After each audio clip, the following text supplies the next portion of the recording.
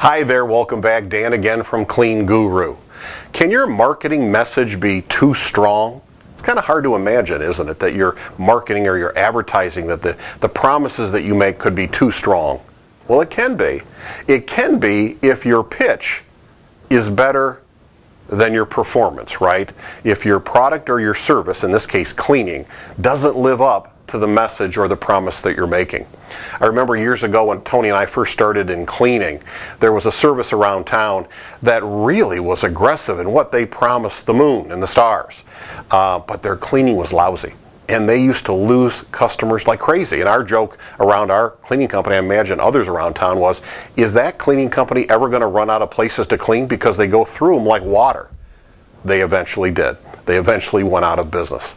I remember uh, a business person we really respected once, we asked, What's the most important thing in marketing? He said to have a great product, a great first product. That made sense. Or great service. We asked him, What's the second most important thing in marketing? He said that your second product or your second service is great. It just makes a lot of sense that foundationally you offer a great performance because or service. What you don't want is a long line of dissatisfied customers that then tell others, especially today.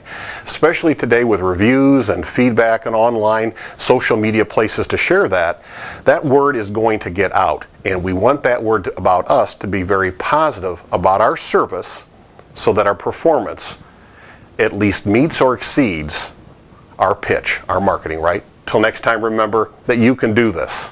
You really can.